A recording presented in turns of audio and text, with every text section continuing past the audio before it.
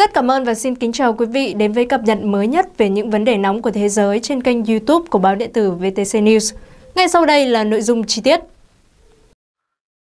Theo hãng tin Yonhap, ngày 11 tháng 7, giới chức Hàn Quốc thông báo nước này sẽ bắt đầu sản xuất vũ khí laser có khả năng tấn công thiết bị bay không người lái của đối phương trong năm nay. Đây là một phần trong nỗ lực của Hàn Quốc nhằm trang bị hệ thống vũ khí tiên tiến. Tháng trước, Cơ quan Quản lý Chương trình Mua sắm Quốc phòng DAPA Hàn Quốc đã ký thỏa thuận trị giá khoảng 100 tỷ won, khoảng 72 triệu đô la Mỹ, với công ty quốc phòng Hanwha Aerospace của nước này để sản xuất hệ thống vũ khí. Hiện chưa rõ chi tiết của thỏa thuận. Theo DAPA, vũ khí laser có khả năng phòng thủ các thiết bị bay không người lái ở khoảng cách ngắn bằng cách bắn các chùm tia laser được tạo ra bởi sợi quang vào các mục tiêu. Vũ khí laser bắn rơi máy bay không người lái bằng cách đốt cháy động cơ hoặc thiết bị điện tử khác của máy bay bằng chùm sáng chiếu vào trong từ 10 đến 12 giây.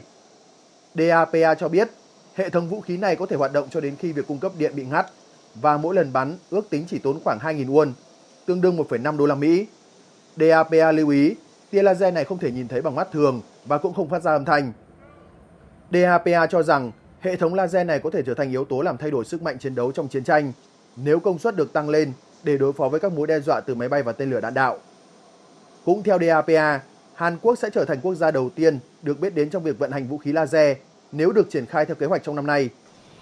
Hàn Quốc bắt đầu phát triển vũ khí laser vào năm 2019 và đã đầu tư 87,1 tỷ won, khoảng 63 triệu đô la Mỹ cho dự án này. Tháng 12 năm ngoái, năm chiếc máy bay không người lái của Triều Tiên xâm nhập Hàn Quốc, khiến Seoul phải điều cả máy bay chiến đấu và trực thăng tấn công đánh chặn. Liên Hợp Quốc cho biết, cả Triều Tiên và Hàn Quốc đều vi phạm thỏa thuận ngừng bắn sau cuộc xung đột 1950-1953 ở khu vực biên giới, với hành động đưa máy bay không người lái xâm phạm không phận của nhau. Theo Tổ chức Nghiên cứu và Tư vấn RAND Corporation, nhiều quốc gia, trong đó có Hàn Quốc, Trung Quốc và Anh, đang chạy đua phát triển và triển khai vũ khí laser, còn gọi là vũ khí tập trung năng lượng. Theo nghiên cứu của tổ chức này, loại vũ khí này đang rất được quan tâm như một giải pháp để chống lại sự phổ biến của phương tiện không người lái, cũng như để tấn công tên lửa đang bay hoặc vệ tinh trên quỹ đạo. Đài Sputnik vừa dẫn tuyên bố của Thứ trưởng Bộ Ngoại giao Nga Mikhail Zaluzhin. Chúng tôi biết ý định của Kiev và các cố vấn phương Tây là tự phục hồi sau hội nghị thượng đỉnh hòa bình thất bại ở Bergenstock, Thụy Sĩ hồi giữa tháng 6 năm nay và đang cố gắng tổ chức một sự kiện tương tự. Ông Galuzin nói thêm, địa điểm cụ thể chưa được xác định, tuy nhiên địa lý không có tầm quan trọng cơ bản. Điều quan trọng hơn là nội dung, trong đó mọi thứ đều cực kỳ rõ ràng. Ông Galuzin cho biết Nga đã được thông tin rằng Kiev hy vọng đạt được tối hậu thư từ công thức hòa bình 10 điểm của Tổng thống Ukraine Volodymyr Zelensky, đồng thời cũng nhận thấy sự coi thường có chủ ý đối với các sáng kiến khác nhằm giải quyết cuộc khủng hoảng Ukraine. Ông Galuzin nói, chúng tôi không chấp nhận những tối hậu thư đó và sẽ không tham gia vào những hội nghị thượng đỉnh như vậy. Theo Bloomberg dẫn các nguồn tin cho hay, Kiev muốn hội nghị thượng đỉnh tiếp theo về hòa bình Ukraine diễn ra trước cuộc bầu cử Mỹ vào tháng 11 tới và lần này sẽ có sự tham dự của Nga. Kế hoạch được Ukraine đưa ra sau khi hội nghị thượng đỉnh đầu tiên diễn ra ở Thụy Sĩ vào tháng trước không đem lại kết quả như kỳ vọng. Hội nghị có sự tham gia của đại diện từ hơn 90 quốc gia. Nga không được mời tham dự, trong khi một số nước, trong đó có Trung Quốc, đã từ chối lời mời. Một số quốc gia chỉ cử các phái đoàn cấp thấp tới sự kiện này. Nỗ lực của Ukraine nhằm giành được sự ủng hộ của các quốc gia chủ chốt ở Nam bán cầu đã không thành công khi một số quốc gia từ chối ký vào tuyên bố cuối cùng. Những nước này cho rằng việc giải quyết tình hình ở Ukraine cần phải có sự hiện diện của Nga, do đó mọi tuyên bố tại hội nghị không có Nga là vô nghĩa. Việc thúc đẩy tổ chức hội nghị trước bầu cử Tổng thống Mỹ cho thấy Ukraine lo ngại viễn cảnh ông Donald Trump trở lại Nhà Trắng.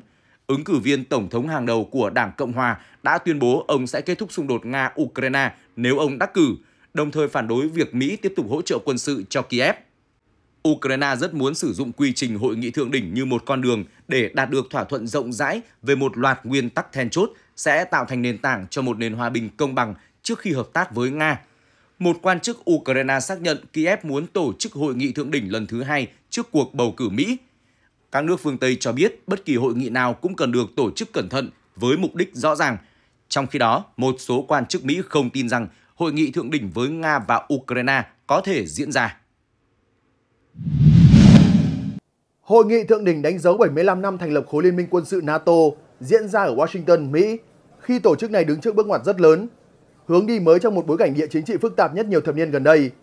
Tổng thống Mỹ Joe Biden phát biểu, ngày nay NATO đang trong trạng thái mạnh mẽ nhất lịch sử, diễn tả thông điệp quan trọng nhất của Washington về việc chấn an đồng minh, kêu gọi đoàn kết và thể hiện cam kết mạnh mẽ của Mỹ. Thông điệp này được nhắc lại giữa lúc cuộc họp NATO bị xung đột Nga-Ukraine phủ bóng. Trên thực tế, NATO đang đối diện bối cảnh địa chính trị phức tạp hơn nhiều. Hiện nay, nhiều nước nhìn nhận an ninh thế giới không khác gì chiến tranh lạnh giữa một khối gồm NATO và các nước phương Tây và một khối gồm Trung Quốc, Nga, Triều Tiên và Iran. Việc NATO xích lại gần các đối tác châu Á không phải là diễn biến mới. Tuy nhiên khi đặt vào bối cảnh hiện nay, đây là nhu cầu ngày càng cấp thiết với những bất định về tình hình kinh tế và chính trị, đặc biệt khi nhắc tới Mỹ. Chiến dịch tranh cử đầy trục trặc của ông Biden vô tình tạo ra một thách thức không lường trước cho NATO.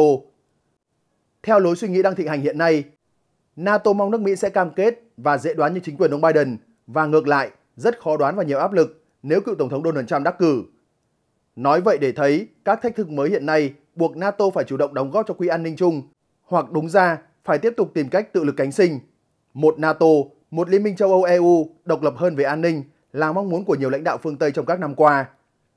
Đã xuất hiện ngày càng nhiều ý kiến cảnh báo về sự lệ thuộc quá lớn vào Mỹ, thậm chí băn khoăn về chuyện liệu các công ty sản xuất vũ khí ở Mỹ kiếm được bao nhiêu từ châu Âu.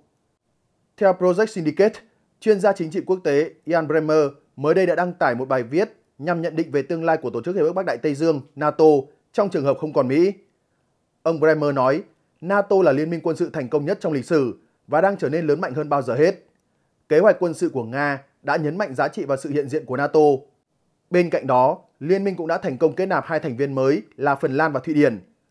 Tuy nhiên, chuyên gia này cho rằng NATO đang đứng trước tương lai khó khăn, nhất là khi cuộc xung đột Ukraine đang gây ra mâu thuẫn trong nội bộ khối và quan điểm của Mỹ có thể thay đổi mạnh sau cuộc bầu cử tổng thống sắp tới.